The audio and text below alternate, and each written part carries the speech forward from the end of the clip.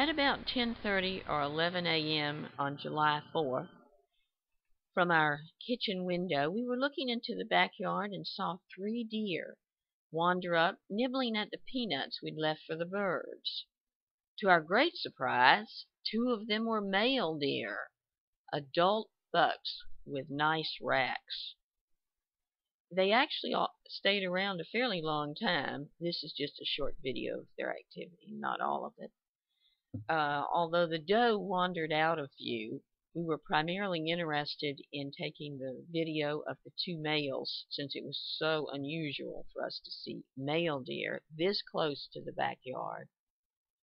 This is only maybe 20 feet from our kitchen window.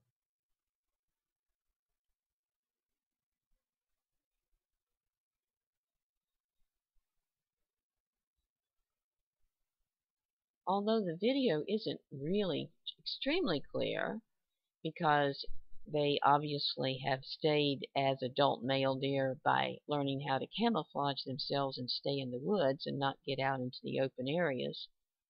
It turned out fairly well considering how close it was to the house. And occasionally you'll see a goldfinch fly through and lots of blue jays around as well as the occasional tufted titmouse and some woodpeckers and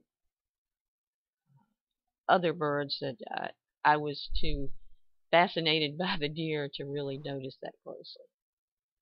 Now here you can see the deer and just occasionally get a glimpse of the racks as they move through the underbrush and the trees in, in the woods right at the edge of the backyard. There you can see the bottom of our uh, finch feeder and a finch flying through. And to the far left is a bird bath with a blue jay getting a drink of water from the bird bath.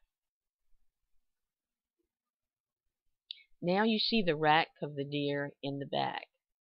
He has a full, huge rack, which is, again, very surprising. If you look closely, you'll see that he's uh, appears to us to be, as the best count we could make, about an eight point buck, which is a pretty good size buck.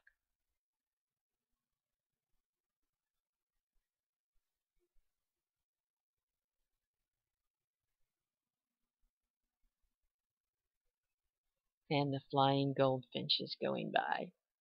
Just bright flashes of gold, as well as, of course, the blue jay again at the bird bath.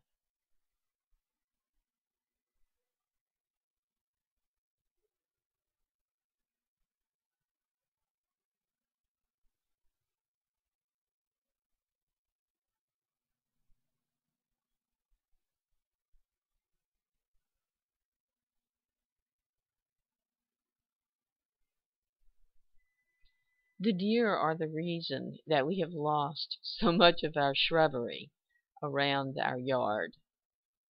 Anything green they appear to have a great interest in, as well as, of course, the peanuts left for the birds.